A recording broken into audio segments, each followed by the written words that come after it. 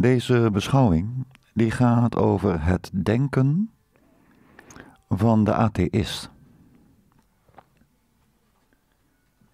Ik heb in een eerdere beschouwing over atheïsme aangegeven dat het mijn mening is dat als iemand zegt het universum is bij toeval ontstaan, of iemand zegt het universum is niet ontstaan, want het was altijd al. Dat die mensen. Uh, dat, um, dat die mensen onlogisch denken. Ja. En dat, dat betekent dus dat ze niet denken. Want uh, logica en denken, dat is eigenlijk het, dat is hetzelfde.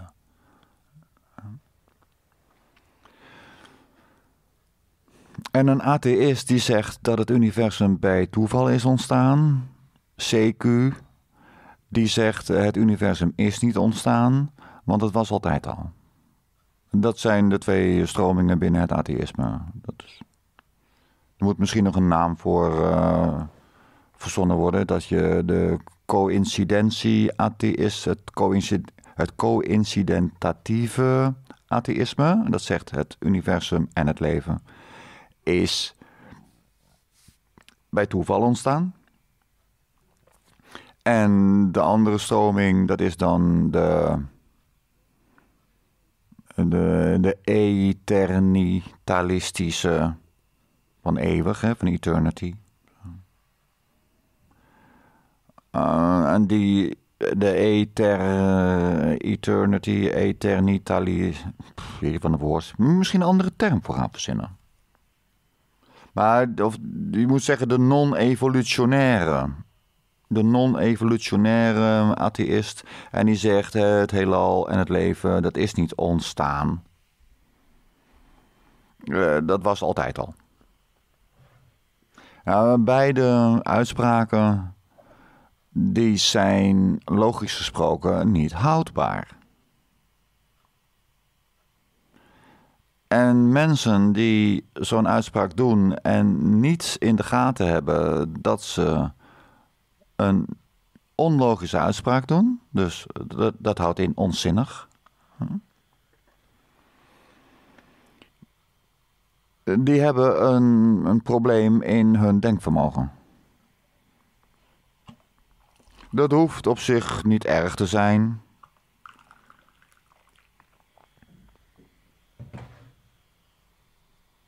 Als je niks met die mensen te maken hebt. En als je wel met die mensen te maken hebt, maar.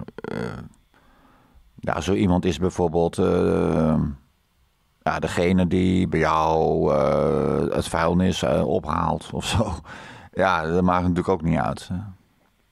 Ja, je gaat er je moeder ook wel verwachten dat iemand die het vuilnis ophaalt, dat hij moet beschikken over goed functionerende hersenen. Hè? Dus zijn werk is niet moeilijk.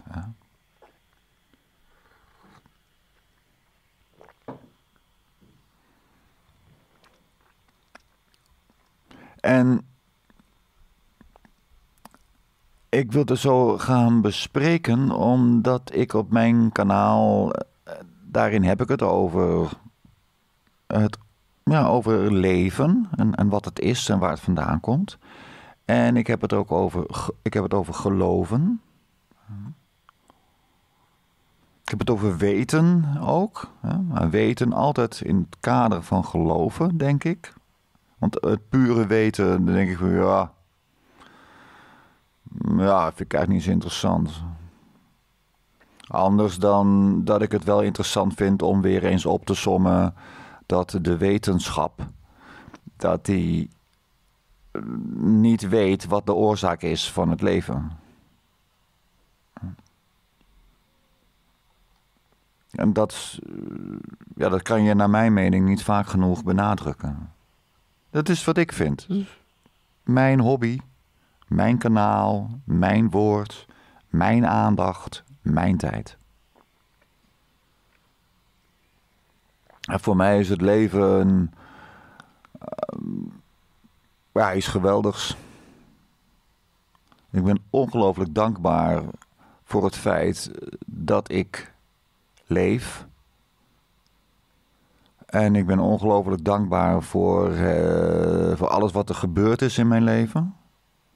En ik ben van mening dat er veel dingen in mijn leven ten goede zijn gebeurd. En waar ik dan geen invloed op had. Dus dat, dat waren cadeaus.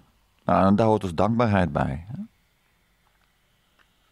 Ik, ik kan me in mijn leven. Ik heb maar van één ding spijt. En dat was dat mijn dochter eh, in 2013, na afloop van een vakantie in Bretagne, tegen mij had gezegd: Van pap, zullen we met z'n tweeën een jaartje in Parijs gaan wonen? Dat moet wel kunnen. Dan ga ik daar naar de middelbare school. En dat heb ik toen niet doorgezet. Ik, ik heb niet eens de moeite. Nou, ik heb niet eens de eerste stappen gezet. Want ik dacht van, oh, ik heb er wel over nagedacht. Maar ik denk, jeetje, dat gaat een hoop voeten in de aarde hebben. Maar het had gekund, hè? Achteraf denk ik, oh, wat ben ik stom geweest. Ik had het moeten doen. Jeetje, wat was het leuk geweest. Achteraf bezien, maar ja, goed. En dat heb ik dus uh, niemand te verwijten, behalve mezelf.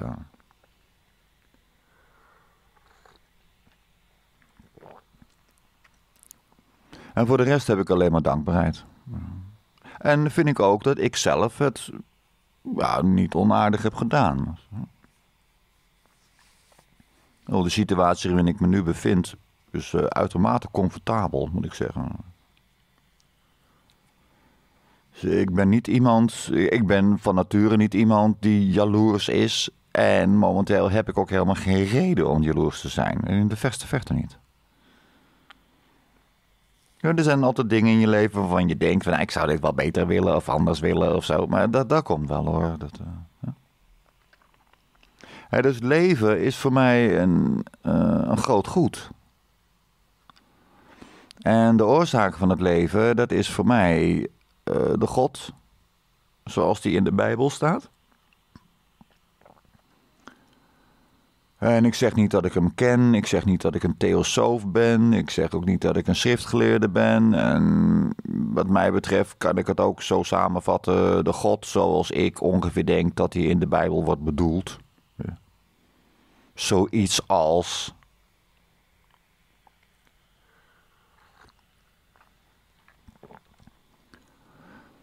En voor mij is dat helder.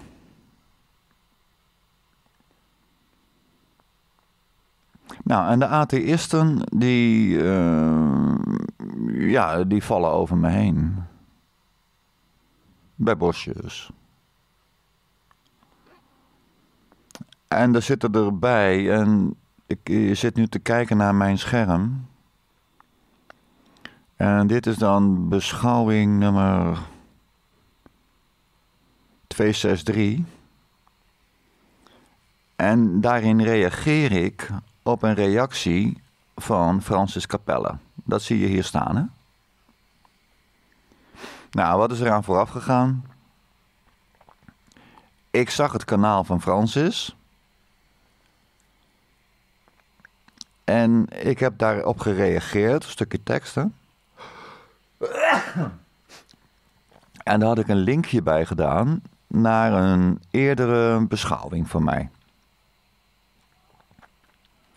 Nou, toen heeft Francis eh, erop gereageerd. Dus die. Eh, ik had een, een filmpje van hem gezien. Waarin hij. Eh, ik ben Francis en ik ben een atheïst. Ik heb op, zijn filmpje gereageerd, heel beleefd. En een linkje naar een beschouwing van mezelf, waarin ik zeg: uh, Ik ben Perry Winkel en ik hou. Ik wil een verhaaltje over. Ik denk de oorzaak van het leven of zo. Of de oorzaak van waarheid. Of de relatie tussen taal en waarheid. Uh, dat soort dingen. Dat, dat zijn mijn dingen, die vind ik leuk. Hè? Nou, en Francis heeft erop gereageerd met een, uh, een volledige uitzending van een uur. Nou, dat vind ik fatsoenlijk, hè? Nou, en daar, daar heb ik deze reactie op geschreven. Of geschreven. Nou ja, ik heb er ook op zitten schrijven, kladjes gemaakt. Hè? Hier wil ik het over hebben, daar wil ik het over hebben. En, en daar reageer ik op. En als je wil weten wat ik allemaal te vertellen heb, ja, het is dus beschouwing 263. Ja. En dit vind ik uh, ook bijzonder netjes van mijzelf. Dat, je dus, dat ik hier zeg de link naar de reactie van Francis Capella. En hier kan je dus zijn originele ding vinden. Daarmee maak ik ook reclame voor Francis natuurlijk. Vind ik erg netjes van mezelf. Nou, dan komen dus de reacties komen erop los. En dat, de eerste reactie is van RZ. En hij zegt: Je verhaal is creatief gevonden en mooi verwoord, maar het slaat helemaal nergens op. Je vergelijkt met de waarheid van het ene woord tegenover het andere woord houdt geen stand. Je vergelijking met de waarheid van het ene woord tegenover het andere woord houdt geen stand. Je predikt dat het woord God ultieme waarheid is. Het is en blijft geloof en niet te bewijzen met feiten. Er is geen enkel tastbaar bewijs dat het woord in de Bijbel geschreven, dan wel het woord verteld in de verhalen over God of Jezus, strookt met enige waarheid, alleen de bewering dat het de ultieme waarheid is. Nou, ik heb het over het denken van de atheïsten. Ik heb dus gezegd dat atheïsme eh, je hebt dus twee vormen. De coincidentalistische atheïsten, die zeggen, nou, de wereld is per toeval ontstaan. Nou, dat kan helemaal niet. En die andere is, eh, de wereld is helemaal niet ontstaan, de wereld was er altijd al. Dus er, eh, in die zin is er dus geen evolutie, geen ontwikkeling. Niet, nou, niet als het om de wereld gaat. En die mensen moeten natuurlijk wel toegeven dat als je kijkt naar computers uh, ja, je hebt momenteel 64-bits computers die je kan kopen voor uh, minder dan 100 euro. Ja, dat had je natuurlijk in de jaren 70 niet. Nee, want toen had je nog geen euro's. Ja, zo ben je snugger zeg. Nee, ik hoor ze al denken hoor, die atheïsten. Zo denken atheïsten. Dat is echt heel grappig. Als je het ziet dan, hè. Maar Kijk, zo'n atheïst, die heeft dus, ofwel, hij is ofwel coincidentalistisch, coincidentalistisch, of hij is eternatilistisch, dat het e-, eternal is. Hè? De wereld was eeuwig, e-, is eeuwig, zal eeuwig zijn. Nou, en wat je dan hier ziet, is het taalgebruik. Hè? Nou, dan ga ik eventjes uh, ontleden wat deze meneer dan typt. Als het een man is hoor. Zal, denk ik wel. Je verhaal is creatief gevonden. Nou, wat is dat? Creatief vinden. Hoezo? Um, uh, dat, dit verhaal lag ergens en ik heb het creatief gevonden? Mijn verhaal is creatief. Dat zou hij moeten zeggen. Je verhaal is creatief. Ik heb het niet creatief gevonden, mag ik aannemen. Hè? En mooi verwoord tussen aanhalingstekens. Ja, waarom tussen aanhalingstekens? Want tussen aanhalingstekens betekent dat ik het dus niet echt verwoord heb, maar dat ik het op een bepaalde manier verwoord heb. Maar ik heb het niet op een bepaalde manier verwoord, ik heb het uitgesproken. Dus ik heb het verwoord. En dan, uh, maar het slaat helemaal nergens op. Ja, eh, bij dat woordje maar, uh, daar moet een komma voor. En als het, mijn verhaal creatief is en mooi gesproken, hoe kan het dan helemaal nergens op slaan?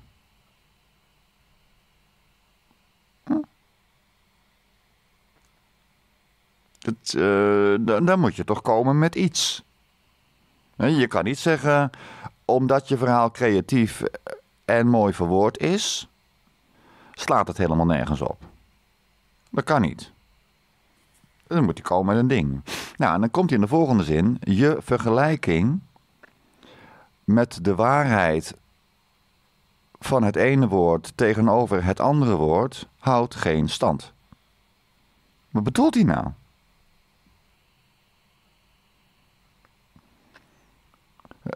Ik, ik, weet het niet helemaal meer precies wat ik nou in dit stukje van. Uh, nee, nee, ik weet het wel. Ik bespreek Johannes 1, vers 1.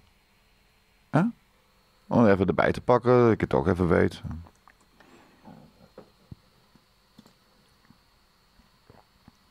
Dit is de King James. Uh, dit is John, dat is het vierde evangelie. Eerste boek, uh, vierde boek van het Nieuwe Testament. En uh, dit is de frase.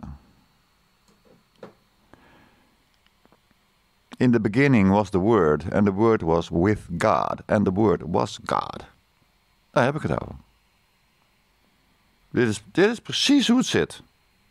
Dus als je wil weten van, goh, het universum, in de wereld, in de mensen, waar komt dit eigenlijk vandaan? Wat een hele goede vraag is natuurlijk.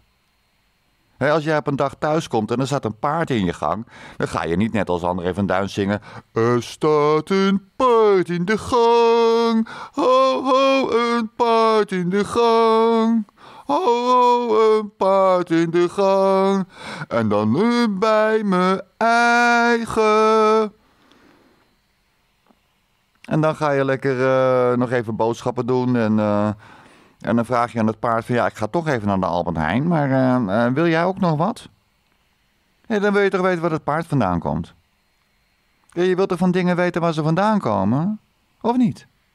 Ja, of het interesseert je helemaal niks. Dat kan ook. Maar als je het niks interesseert, ja, dan moet je niet naar het kanaal van mij gaan. Want ik interesseer mij voor zaken zoals het leven.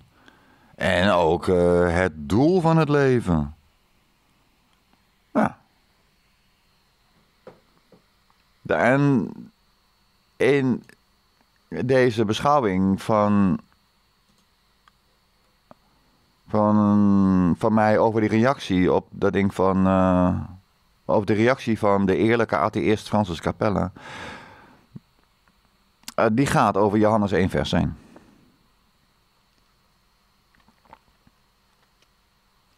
En dan zegt hij: Je predikt. Nou, ik predik helemaal niks.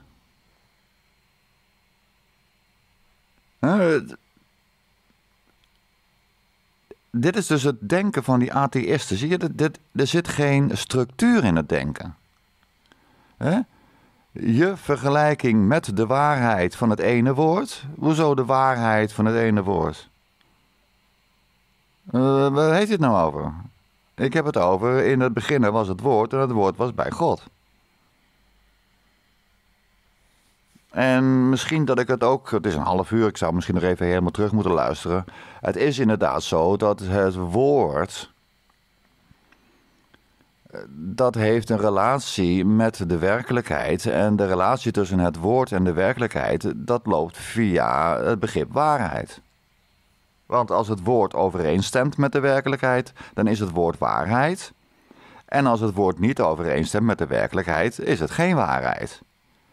En gaat hij me nou vertellen dat eh, die vergelijking van waarheid van het ene woord tegenover de waarheid van het andere woord, dat het geen stand houdt? Uh, waar heeft deze man het nou over? En je predikt dat het woord God ultieme waarheid is. Nou, die zin klopt dus niet. Dat is niet. Uh, je predikt. Dat, wat ik predik dus helemaal niet.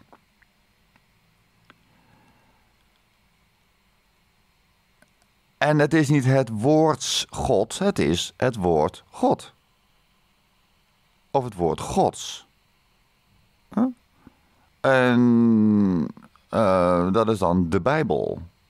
En ik zeg niet zozeer dat de Bijbel de ultieme waarheid is.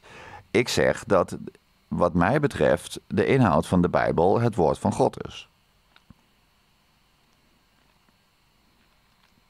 En ultieme waarheid, ja, de waarheid is de verzameling van alle uitspraken die corresponderen met de werkelijkheid.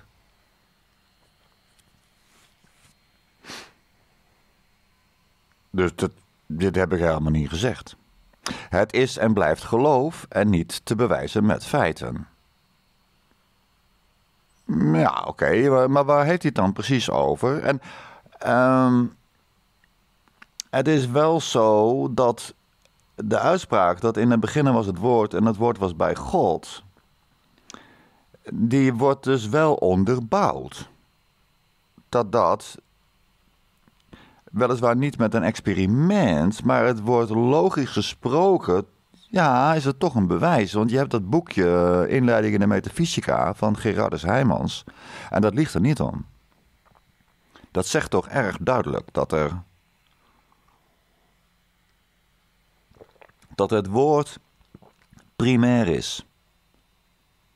je hebt aan de ene kant het woord, aan de andere kant heb je de materie. En het woord moet primair zijn. Dus het woord moet de oorzaak zijn van de materie. Dus, en wat Gerardus Heijmans levert, ja, dat mag je toch noemen een bewijs. Het is een bewijs uit het ongerijmde. En ja, ik weet niet eens of meneer RZ weet wat een bewijs uit het ongerijmde is. En als hij vindt dat een bewijs uit het ongerijmde niet mag, want dat ligt wel eens een. Ja, er is een verschil tussen bewijzen die uh, positief zijn.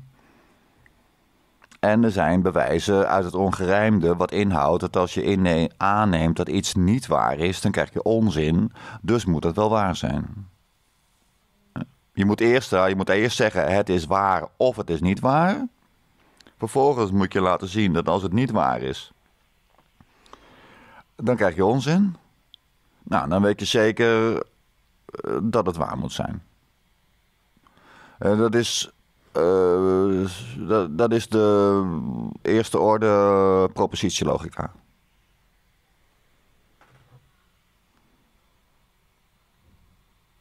Ja, en als meneer RZ dan vindt dat de eerste orde propositielogica niet toepasbaar is op dit denkterrein, Huh?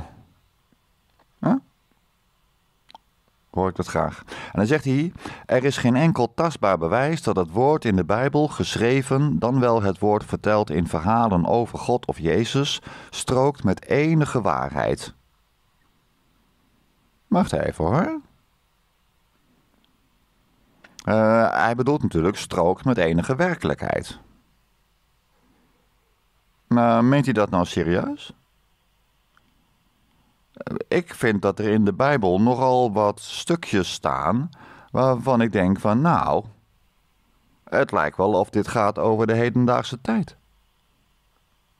Neem uh, zoiets als uh, uh, dat er wordt gesproken in het boek Openbaring over een vrouw die zit op een beest en op haar voorhoofd staat geschreven Babylon de verborgene.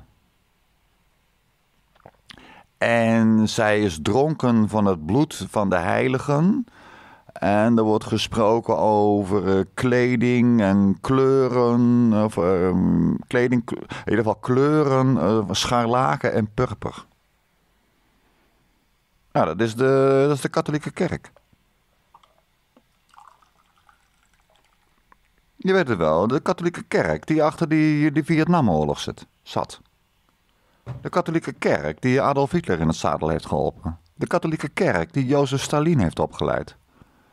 Uh, de katholieke kerk die uh, Winston Churchill uh, masseerde.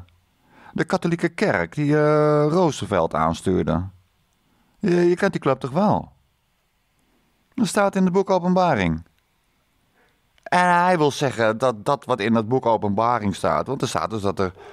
Uh, er is geen enkel tastbaar bewijs dat het woord in de Bijbel geschreven. Uh, overeenstemt met enige werkelijkheid. Ja, en het boek Openbaring dan? Tja, ga toch weg. Huh?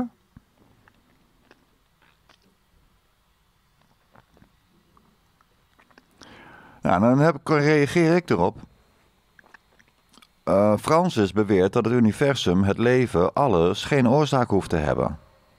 Dat, Francis is dus van het eterni, eternity, eternitalisme. De wereld is niet ontstaan, de wereld was er altijd al. Eh, je hoeft je niet af te vragen hoe die ontstaan is, want hoezo is er een ontstaan? Francis zegt letterlijk van die, dat je als mens moet je accepteren dat er zoiets is als oneindigheid. En dat moet je nou één keer in je denken zien te krijgen.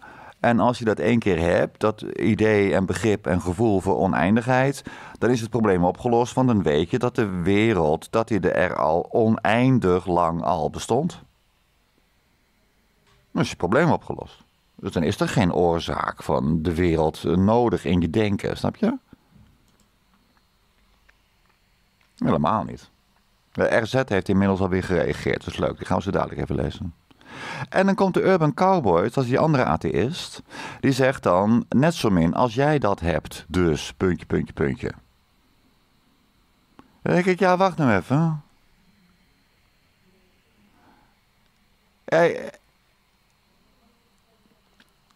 die mensen die mij aanspreken op uh, concrete bewijzen. Dat was, dat was volgens mij de Urban Cowboy. Die wilde een concreet bewijs van het leven na de dood. Ja, dat heb ik niet. dat zou een rare boel zijn, hè? En dan gaan ze lopen brullen van ja, ja, maar uh, ja, het is geen concrete bewijzen van leven na de dood. Ja, en Francis heeft ook geen concrete bewijzen. Dus oh, ze moeten niet zeggen eh, dat eh, concrete bewijzen het onderscheid is voor de discussie. Het gaat puur over de inhoud van wat we zeggen. En dan reageer ik erop. Uh, dus die, de Urban Cowboy zegt dan, net zo min als jij dat hebt dus, hè, dus over tastbaar bewijs. Dan zeg ik, nou, dat weet ik niet zo zeker. Maar dat hoor je nog wel. En dat is het bewijs aan het ongerijmde. Waar ik, daar ben ik mee aan het, uh, aan het stag steggelen. Dat komt eraan. En dan zegt de Urban Cowboy: dan zou je de eerste mens zijn die dat heeft. Het. uh, nou, dat is helemaal niet waar. Er zijn veel meer mensen bezig met bewijzen te verzamelen dat de immateriële wereld, het immateriële zijnde, dat dat de oorzaak is van alles wat er is. En dat heeft zich in de 20e eeuw met name ontwikkeld en de namen die daarbij horen, dat, is Jordan, dat is een Nederlandse evolutiebioloog. Dat is Rupert Sheldrake, dat is een Brit. Dat is Bruce Lipton, dat is een celbioloog. En dat is Lynn McTaggart. En die is, dacht ik, Amerikaans. En ik dacht dat hij een achtergrond had in de medische wetenschap.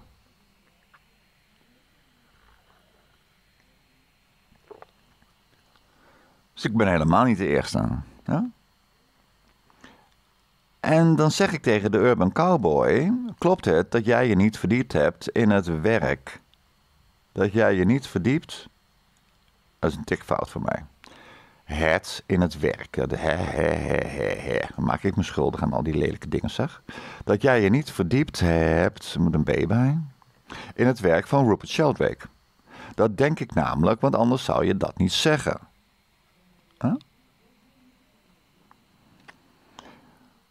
Nou, dan komt RZ nog even tussendoor. En dat gaat dan over die opmerking van mij. Dat hij geen concrete bewijzen heeft. Hè? Dus uh, Francis. Over dat het universum niet ontstaan hoeft. Dat het gewoon niet ontstaan is. Dat was er altijd al. Hè? En zegt hij, klopt, komma, maar net als jij heeft hij theorieën. Het is dan alleen zo jammer dat jij zijn theorie onderuit probeert te halen met je tussenquootjes eigen waarheid, die ook niet te bewijzen valt. Uh,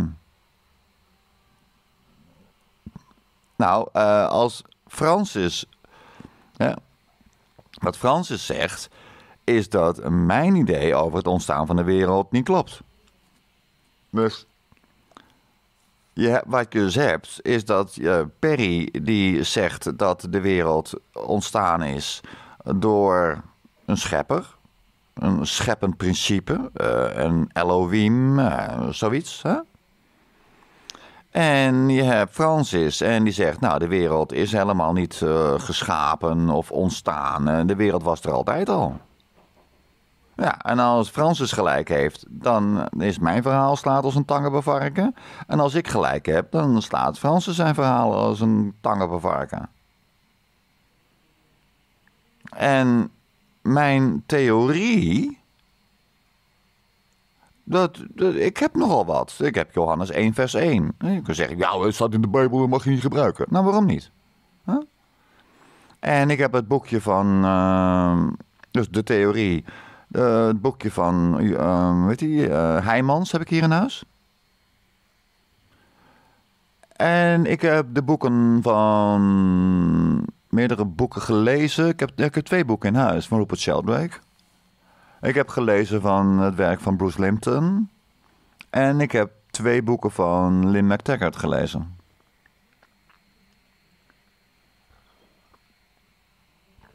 Dus wat is er nou jammer? En het gaat hier niet om mijn eigen waarheid. Nee, het gaat om uh, mijn, uh, mijn bevindingen. Dus. En, dat, het is alleen zo jammer. Kijk, hier, hier zit dus. Het, er is niks aan de hand als Francis Capelle dingen zegt waardoor mijn hele verhaal, als het waar zou zijn, wat Francis zegt, hè? er is niks aan de hand als uh, Francis lekker klets, klets, klets, klets, klets, waardoor mijn verhaal totaal belachelijk gemaakt wordt. En dat doet Francis, by the way, echt. Hij heeft het over dat geblunder van mensen met de Bijbel. En uh, zijn een stelletje achterlijke idioten. Bij wijze van spreken, hè? Hij is er helemaal niet lovend over. En dat is, dat is helemaal niet jammer. Nee, het is jammer uh, als ik wat zeg. Snap je? Dat is het denken van de atheïst. Het is een heel bijzondere manier van... van aanwezig zijn. En dan, uh, dan zeg ik hier dat het sluitzinnetje hier en mijn waarheid is misschien niet te bewijzen, maar is wel de meest voor de hand liggende. Daarmee stuur ik aan, ik heb het nog niet helemaal klaar, dat bewijs uit het ongerijmde van mijn kant op een hele eenvoudige manier. Ja, dus als je nou ik heb het net uitgelegd, bewijs uit, vanuit het ongerijmde. Dus het is geen positief bewijs, maar het is wel een bewijs. En daarmee kan je dan zeggen, het is het meest voor de hand liggende. En dan quoteert hij mij en dan zegt hij: En mijn waarheid is misschien niet te bewijzen, maar is wel de meest voor de hand liggende. En dan zegt hij achteraan: Klinkt niet heel logisch, Perry. En dan met een vraagteken erachter. Dus wat is het nou? Is het nou, klinkt niet heel logisch, Perry? Is dat een, een opmerking of is het een vraag? Maar als het een vraag is, uh, is het een hele rare vraag. Klinkt niet heel logisch. Dan zou het moeten zijn: Ik vind, ik snap niet wat je bedoelt. Zou je het me uit willen leggen? Vraagteken. Dat zou een normaal mens schrijven. Maar een mens met het denken van de atheïst, die zegt dan: Klinkt niet heel logisch, Perry. Met een vraagteken erachter. Snap je wat ik bedoel? Ja, en dan komt dus hier de opmerking van RZ erbij. Urban Cowboy zegt het eigenlijk al. Het gaat bij deze voornamelijk om het feit dat de persoon. Uh, het gaat bij deze voornamelijk om het feit dat de persoon. In dit geval jij, het woord, het woord God, dat is helemaal niet correct Nederlands, als absolute waarheid verkondigt. En een ieder die andere ideeën heeft, wel even verteld wordt, daar moet een T achter, dat hij of zij ernaast zit en Gods woord de enige waarheid is. Daar heb ik het helemaal niet over. Ik pak uit de Bijbel uitsluitend Johannes 1, vers 1. En ik betrek daarbij uh, nou, werken van, nou, het werk van Gerardus Heijmans. Dat moet ik ongetwijfeld gebruikt hebben. Dus niet even vertellen dat hij of zij ernaast zit. En trouwens, ik zeg ook in mijn reactie niet dat Francis Capelle uit zijn nek lult. Ik zeg dat hij in zijn reactie op mij, want het is hij heeft kritiek op mij, hè? Het is Francis die heeft kritiek op wat ik heb gepostuleerd. En dat heb ik gepostuleerd, opgezegd, opge opgedreund, voordat ik Francis kende. En hij zegt dus, nou Perry, wat je zegt, dat deugt helemaal niet. Dat is, dat is wat Francis als zijn reactie was. Maar wat een onzin is dat zeg. En echt 35 opmerkingen die er niet om liegen. Uh, variërend van uh, de enige orde in het universum is de dood. En dat is dan naar aanleiding van het feit dat ik heb gezegd dat het universum dat is een ordelijk, ordelijk geheel. Nou, dan zegt Frans Capelle, nou, helemaal niet ordelijk. De, de, dood, de dood is de orde. Nou, snap je, dat is de reactie. En daar verweer ik mij tegen.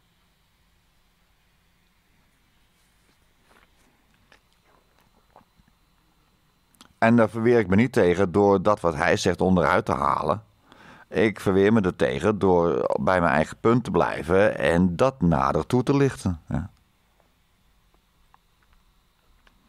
En dat uh, alleen Gods woord, nou hier zegt hij het wel goed, de echte waarheid is. Maar zo speel ik dat helemaal niet. Dat, is, dat, is, dat, dat doe ik helemaal niet. Dat maakt hij eruit op. Maar dat doe ik helemaal niet. Want ik benader dit hele discussieterrein vanuit de, de logica, vanuit de taal.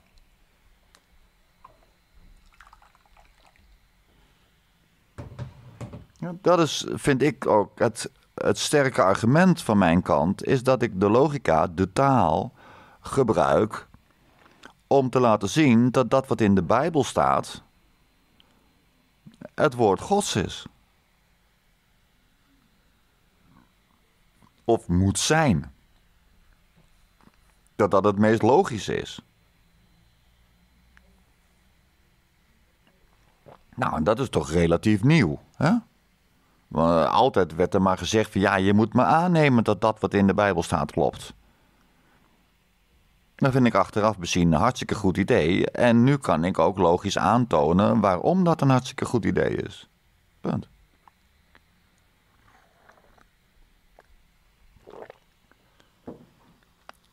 En dan reageer ik uh, op die opmerking hè, dat uh, we dan. Uh, even kijken hoor. Het gaat hier niet om het feit wie er gelijk heeft, maar om jouw reactie op andersdenkende moet denk een N achter. Die dan wel even haarfijn uitgelegd krijgt dat alleen Gods woord de echte waarheid is. Wat nou? Ik had een filmpje gemaakt. Toen kende ik Francis Capelle nog helemaal niet. Francis Capelle die uh, fakkelde dat filmpje helemaal af. Die brandt het echt af tot op de grond. Ik zeg heel netjes in een half uur dat Francis mij niet goed begrepen heeft. Want uh, hij zegt zus en zo en zo. En ik bedoelde. En ik leg heel duidelijk uit wat ik nou precies bedoelde. Maar dan vanuit het licht van de beschuldiging van Francis Capelle. Huh?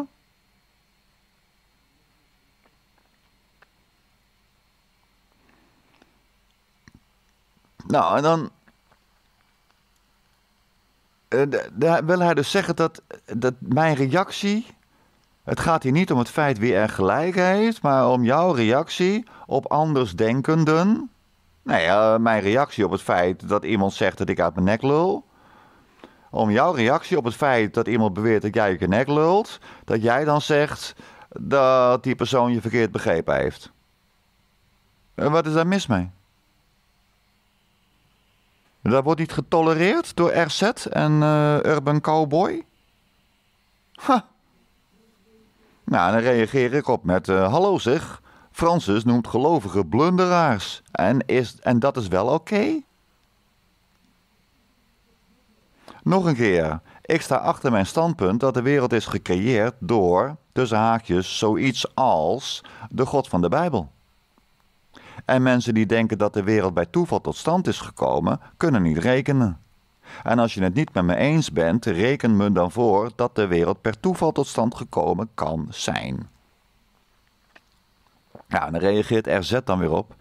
Je slaat de spijker op zijn kop, Perry. Foei iedereen die het geloof Gods bekritiseert en anders denkt. Hoe durven ze er zo over te spreken? Gelukkig mag iedereen die in God gelooft dat wel over anders denkende zeggen, want jij hebt uiteraard de enige echte waarheid in pacht.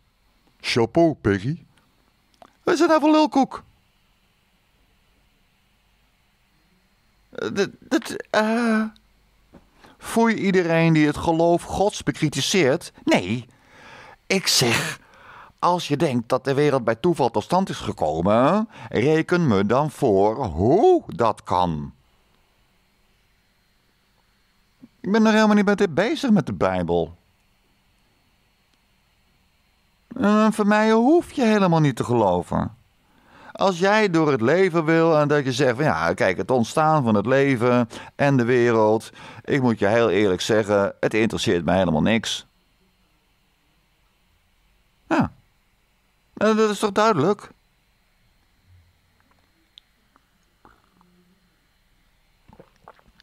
Het betekent voor mij dat jij dus in je, ja, in je nieuwsgierigheid uh, ja, is het. Ja, die is dus op dat terrein uh, ja, niet aanwezig, dus beperkt. Maar ja, misschien ben je wel heel erg bezig met andere dingen. En dat je zegt van ja, dan kijk het ontstaan van het leven en de wereld. En jeetje, nou, dat is me allemaal veel te ver en veel te groot. Ik, ben, zelf ben ik bezig met en dan iets heel erg leuks. Ik ben mijn eigen gamingcomputer aan het maken en. Uh, maar weet ik wel wat je aan het doen bent. En er zijn heel veel manieren om een hartstikke leuk, een fijn en interessant leven te hebben. En dan hoor je dus iemand zeggen uh, van uh, uh, basketballen is de meest geweldige sport ter wereld en zo. En dan, ga je, dan denk je bij je eigen van nou, kijk nou, die, die persoon houdt veel van basketballen. Nou, en, ik niet. Ik hou meer van biljarten of uh, een nieuwe gamingcomputer ontwerpen. Of zo. En dan hoor je mij lullen over de oorzaak van het leven. En dan denk je, ja, nou ja, het hele onderwerp interesseert mij helemaal niet. En Perry zegt dat de oorzaak van het leven, dat is uh, gecreëerd, dat de wereld en het leven is gecreëerd door zoiets als de God van de Bijbel. Ja, nou, dat zal dan wel. Ja, ik interesseer me er niet voor. Ja, dat, dat, dat heb je toch prima houding? Maar als jij dan je gaat bemoeien met de discussie van ik heb ook een mening, ja, dan doe je mee met de grote mensen. En daar kunnen dus die atheïsten, die kunnen dat niet.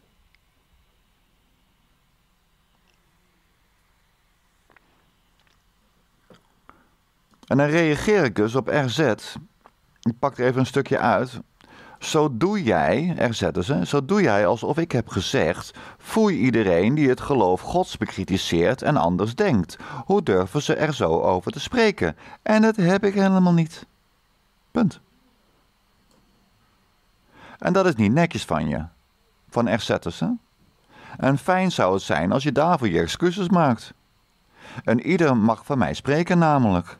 Ik kan hier iedereen een ben geven en dat doe ik toch niet. Nou dan. Een beetje respect graag. Ja? Ja, en dan komt de Urban Cowboy met een opmerking. Um, vanuit onze beperkte kijk op tijd en ruimte heeft alles een begin en een einde. Maar als je nu in staat was dat los te laten. Of zelfs te denken in parallele universa. Um, ja. Eh, zullen we dan ook dan eh, een discussie houden over vierkante cirkels? En eh, hebben die wel vier hoeken of hebben ze misschien pi-hoeken, die vierkante cirkels? daar kunnen we ook over gaan discussiëren natuurlijk, maar dat slaat er helemaal nergens op. Wat de F is een parallel universum. Dat kan helemaal niet. Ja, ik zou niet weten waar je het over hebt. maar goed, hij mag het erin gooien hoor. En, onze beperkte kijk op tijd en ruimte. Wij hebben helemaal geen beperkte tijd op kijk en ruimte. Uh, beperkte kijk op tijd en ruimte. Echt niet. Niet sinds Immanuel Kant. Immanuel Kant heeft het uh, keurig uitgelegd. En ik er niet aan wat er beperkt is aan de kijk van meneer Kant op tijd en ruimte. Of heeft hij het over uh, uh, onze, dat het de beperkte kijk op tijd en ruimte is van de atheïsten? Is dat het? Dat hij het eigenlijk zegt tegen RZ en tegen Francis Capelle. Ja, zou kunnen. En dan heb je dus hier de Urban Cowboy. Komt hij zomaar dat experiment van het staren en de koolmezen dan, hè? Vraagteken. Maar, maar, toch FF een boek besteld van Rupert Sheldrake. Nou, dan denk ik, jongen, wat, wat is dit nou? Kijk, dit is het denken van de atheïst. Dat experiment van het staren en de koolmezen dan, hè? Maar toch even een boek besteld van Rupert Sheldrake. Nou, is, is dit dan. Dit moet je denk ik als uh, psycholoog. Uh, moet je dit kunnen interesseren. De, dit heeft iets te maken met foute dopamine niveaus. Je, je, hoort als schrijver hoor je te verplaatsen in degene die jouw tekst gaat lezen. En dan hoor je te snappen dat je niet zo in één keer zo kan zeggen: Het staren en de koolmezen. Maar toch even een boek besteld van Rupert Sheldrake. Nou ja. En dan komt de Urban Cowboy ook nog met dat, een, dat hij mij een, citeert. Zoiets als de God van de Bijbel? Vraagteken. Krabbel je terug, Perry? Dat is wel onzin. Wat wil hij hier nou zeggen? Hoe kan ik daarop reageren?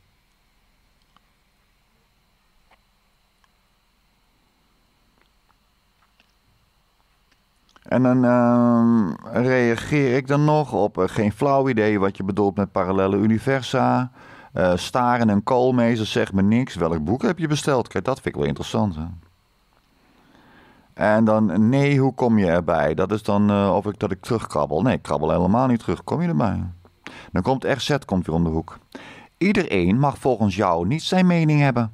Want als dat wel zo zou zijn, had je na Francis het erbij gelaten en niet speciaal er een video over gemaakt. Over wat er allemaal volgens jou niet goed aan is. Dat is geen respect hebben voor andere meningen, maar zelf wel respect eisen voor je eigen mening. Dat is precies het punt. Nee, nou breek een klomp. Ik had een video gemaakt, de oorzaak van het leven of zo.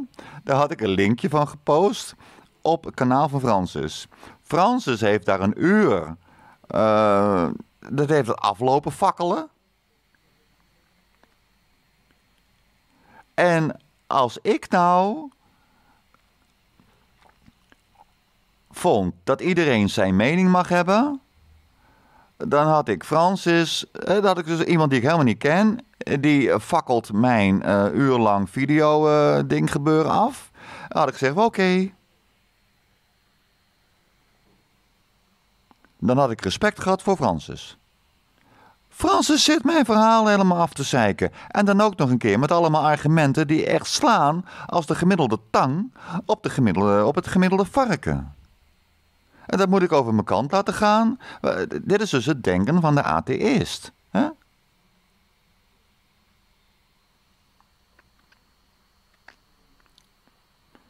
En dan eh, RZ, dan, eh, maar die van jou is gelukkig de meest voor de hand liggende. Ja, daar ben ik wel blij mee, ja.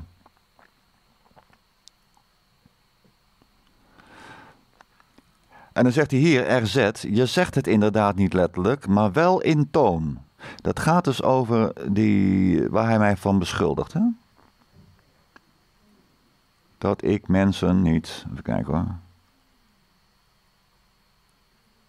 Ja, hij doet, dus RZ, hij doet alsof ik heb gezegd. Foei iedereen die het geloof Gods bekritiseert en anders denkt. Hoe durven ze zo, er zo over te spreken? Dat heb ik niet. Nou, zo doet hij. En dan geeft hij toe van inderdaad, dat heb je niet gezegd. Maar uit jouw toon maak ik dat op. Dan denk ik, ja. Maar ik heb het dus niet gezegd. En dan moet hij toch echt komen met uh, hoe die dat dan heeft uh, geconcludeerd. Mag ik aannemen. Je kan toch niet zomaar zeggen als criticus van, nou ik heb het gevoel hè, ja ik kan het niet echt na, echt, uh, ja ik kan dat dus niet onder woorden brengen of zo hè, maar naar mijn gevoel hè, dan, uh, nou dan laat je andere mensen helemaal niet de ruimte voor een eigen mening. je, zeg je dan tegen iedereen hè, ja dat gevoel heb ik hoor, ja ik weet niet waarom, maar dat gevoel heb ik wel.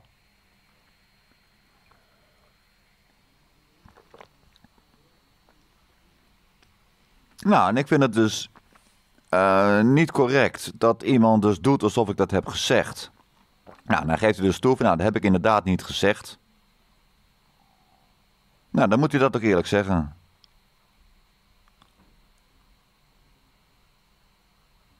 Even kijken hoor, dan, waar staat hij dan?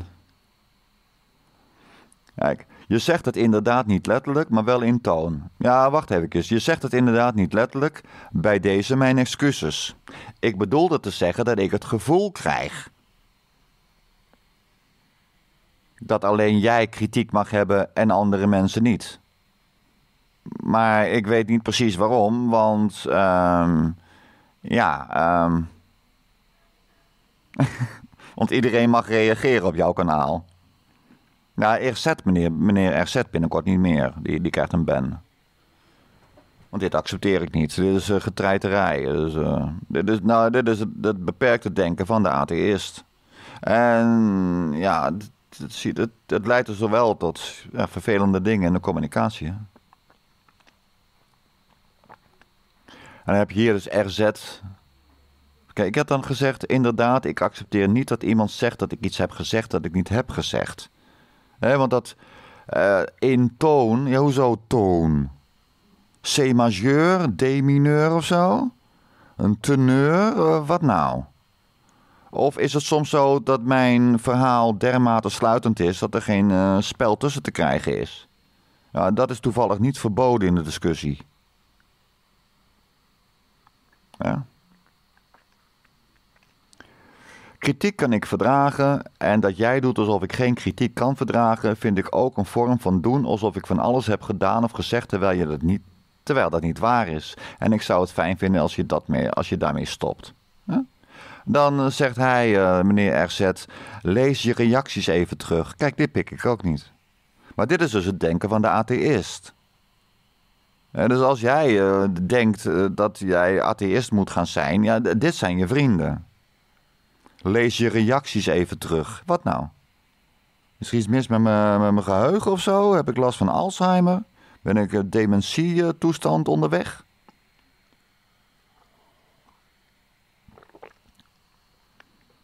En dan reageer ik op met wat nou? En aan RZ zeg ik dan: Heb je een vraag? Stel die dan. Vind je mijn woorden gekletst? Ga dan op een andere site iets leuks kijken. En heb je een mening waar ik het niet mee eens ben? Dan staat het mij vrij om dat te zeggen. Punt uit.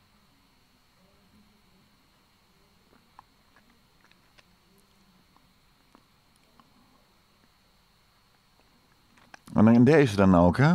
Wat nou, pardon, heb jij een mening? Staat het je vrij? Heb jij een mening? Staat het je vrij om dat te zeggen? Maar is iemand anders het niet met jouw mening Niet een, anders het niet eens met jouw mening en reageert, lees je wat je lezen wilt en wordt meneer nog boos ook.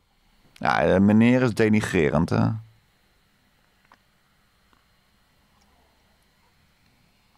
Daar gaat er helemaal nergens over.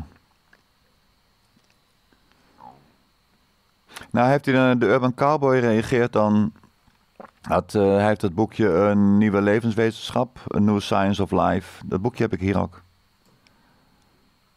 Dat heb ik uitgelezen. Vond ik leuk. En dan heb je de Urban Cowboy komt weer terug. En waar gaat het nou om? Uh, Skepsis.nl, die heeft een, een lullig stukje over het werk van Sheldrake geschreven. Kijk, als Skepsis echt uh, een beetje vet bezig wil gaan lopen zijn, dan pakken ze het hele fenomeen in één keer aan. En niet alleen zo'n dingetje eruit lichten en hoe het zit met. Want Robert Sheldrake heeft, had in, in, de vroege, in zijn vroege jaren had hij een vermoeden. En dat heeft heel lang geduurd voordat hij dat kon onderbouwen.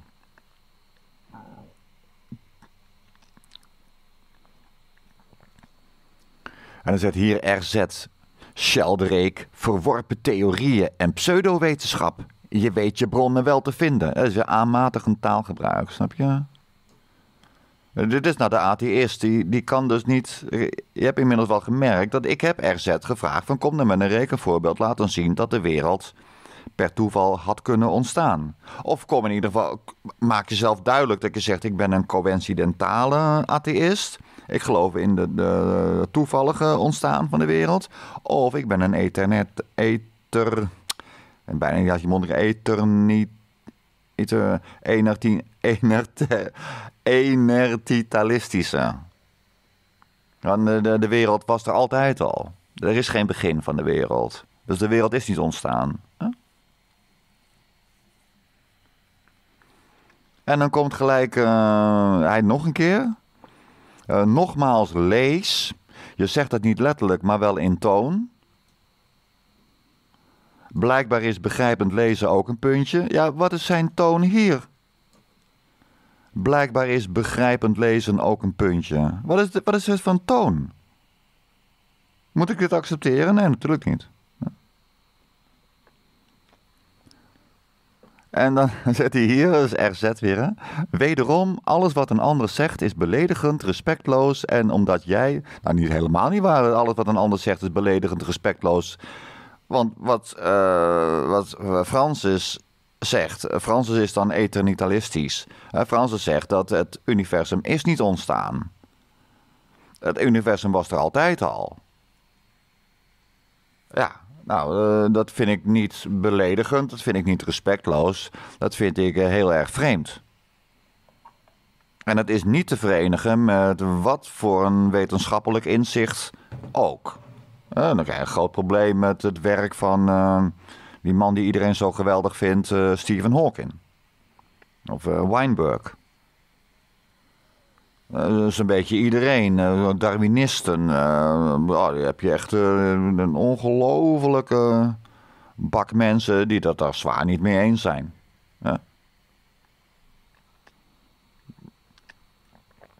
Maar wederom, alles wat een ander zegt is beledigend, respectloos. En omdat jij boeken hebt gelezen en vindt, met een T, dat hoort helemaal niet, dat het klopt, klopt het omdat ik boeken heb gelezen en ik vind dat het klopt, dan klopt het. Gelukkig is het de waarheid, want je hebt een lezing bijgewoond. Nou, dat is gewoon ronduit beledigend. Heb je nu niet alleen een bord voor je hoofd, maar een heel service? Nou, hij, snapt het dus niet. Wat nou heel service? Wat voor service? Klantenservice? Onderhoudsservice? Wat bedoelt hij nou? Dat ik, op, dat ik een bordje op mijn voorhoofd heb en daarop staat Uh, service. Oh nee. Hij bedoelt natuurlijk servies, maar hij kan niet schrijven. Dit zijn mensen met een heel beperkt uh, breinsysteem. Hè? En dan gaat hij hier zeggen: Ik wens je het beste in je leven en veel plezier met je kanaal. Misschien toch maar eens de fiets naar je eerst baantje pakken. Daar ontbreekt een E. Eerste baan. Hij weet niet dat ik een hele tijd gefietst heb. het is nu winter en mijn fiets staat nu in de box. Ik heb een ontzettende partij gefietst. Wat frisse lucht zal je goed doen. Ja, dat moet uh, zij maar weten. En mijn laatste reactie naar hem toe is: uh, Zo, wat kan jij je druk maken, zeg. En jij ook het allerbeste. Erg fijn dat ik je reacties niet meer krijg. maar dan krijg ik er toch nog één. Als ik me druk zou maken, krijg je een andere tekst. Degene die zich op laat naaien, ben jezelf, Perry. Wederom lees je eigen reacteers, reacteers eens terug. Opmerkingen als wat nou? Vraagteken. Ja, doei. maar hier zie je het dus. Het, het, klopt dus wat ik vermoedde. Nou, laat ik het zo zeggen. Ik weet het nog niet zeker. Ik weet, dit zijn dan uh, twee atheïsten. Die, ja, in hun taalgebruik kan je het zien. Hè. Ze zijn heel beledigend. Oh, die Urban Cowboy, die, is, die heeft ook al zitten hinten op... Uh, ja, maar jij hebt veel alcohol gedronken, hè? En uh, ja, dan, ja, dan moest hij dan even bij stilstaan. Ja, dat vind ik niet fatsoenlijk, hè? Ik sta nu droog. Ik heb binnenkort heb ik bijna een heel jaar niet gedronken. Nou, elf maanden lang niet gedronken. En er dan nu over gaan beginnen dat ik dus een jaar geleden dagelijks alcohol dronk. Maar wat niet wilde zeggen dat ik elke dag dronken was. En niet uit mijn woorden kon komen. En, uh, zo erg was het hem ook weer niet. Maar ik dronk wel veel te veel. Hè? En dat er dan bij gaan halen. En dan ook zo'n opmerkingje erbij. Zo'n toontje erin. Kijk, dat zijn de atheïsten. Deze twee atheïsten. En er is nog een andere atheïst. XXX, spatie XXX. Nou, kijk even hoe die verder reageert. Maar zo zie je dus dat onder atheïsten, daar, daar merk je eh, dit soort uh, sociale interactie. En ben jij atheïst, dan zou ik. Uh, binnenkort uh, komt mijn, mijn video uit met een bewijs uit het ongerijmde. En die zou ik dan eens even goed gaan luisteren.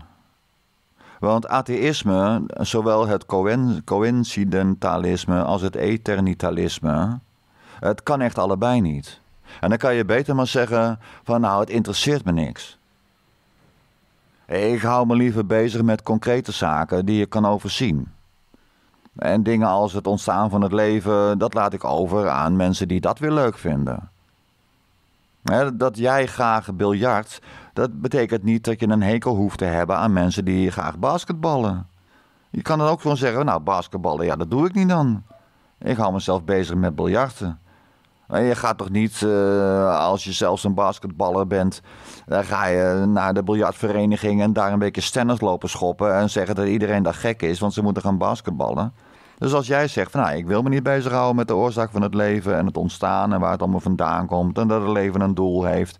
Ik ben al lang blij dat ik in leven ben en dat ik mijn natje en mijn droogje heb en uh, ik hou me bezig met macrameeën of whatever, wat je maar leuk vindt. Dat vind ik helemaal niet erg. Je moet niet denken dat ik dan boos word of zo. Ik denk dat je een risico loopt dat je je leven aan je voorbij laat glijden. Maar ik snap heel goed dat mensen in een bepaalde fase van hun leven kunnen zitten. waarin dat nodig is dat ze het leven voor op dat moment maar eens even aan zich voorbij laten glijden. omdat ze nou, denkruimte moeten krijgen.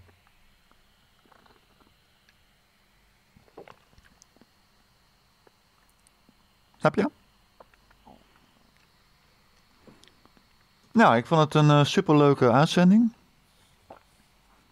En uh, ja, deze mensen die, uh, die krijgen van mij nog geen ban. Maar ze staan wel op de lijst. Dus ik hou die opmerkingen. Ja, ik, ik hou er een, logje, een logboekje van. Want ik, ik vind het moet niet te erg worden, namelijk. Want ik vind het heel. Uh, ze zijn erg onbeleefd. Maar ik wil wel iedereen de mogelijkheid geven om te kunnen reageren. En ik vind het toch ook wel dat die mensen mogen reageren. Maar ik hou ze wel in de gaten. En zouden ze wat ze tegen mij doen, uh, gaan doen tegen mensen als Jurk Liesman of uh, andere mensen die wel eens reageren op mijn filmpjes, dan telt het extra zwaar mee en dan, dan, dan kan ik ze bannen. En dat heb ik zo voor elkaar hoor, dat is echt niet moeilijk. Maar dat komt dan wel weer. Hè? Zover zijn we nog niet. En dan zeg ik op zijn hamburgers tegen jullie: Tjus!